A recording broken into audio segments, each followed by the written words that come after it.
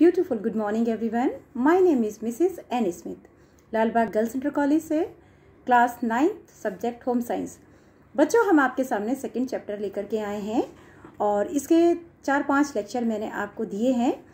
अब next lecture में हम आपको बताएँगे गृह व्यवस्था के उद्देश्य क्या होते हैं। बच्चों, हम ध्यान से सुनेंगे।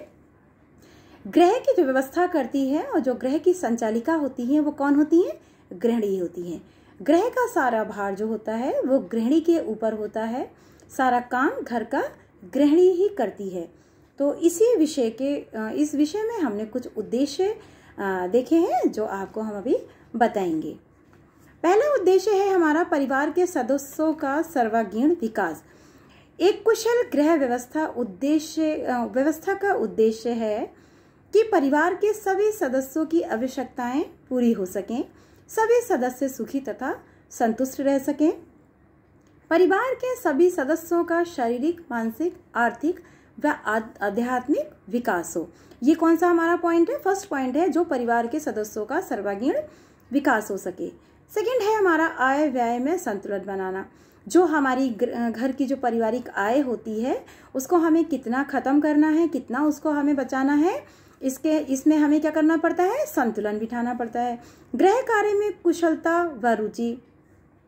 गृह व्यवस्था के लिए आवश्यक है कि परिवार के सभी सदस्य कार्यों को रुचिपूर्ण संपन्न करें। कुशलता तथा रुचिपूर्ण कार्य संपन्न करने से श्रम, समय, श्रम तथा धन की बचत होती है।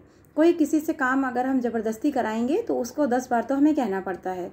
तो हमें अगर रुचिपूर्ण कार्य कर, कर रहे हैं हम घर के अंदर तो हमारा क्या होता है? समय की बचत होती है श्रम की बचत होती है और धन की भी बचत होती है।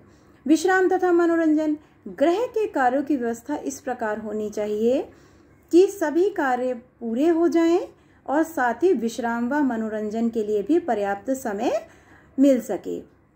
ऐसा नहीं कि पूरा दिन काम ही काम हम करते रहें तो हमें इतना करना चाहिए कि हम काम भी हमारे सारे हो जाएँ थोड़ा सा हम मनोरंजन भी कर लें और हम विश्राम भी कर लें।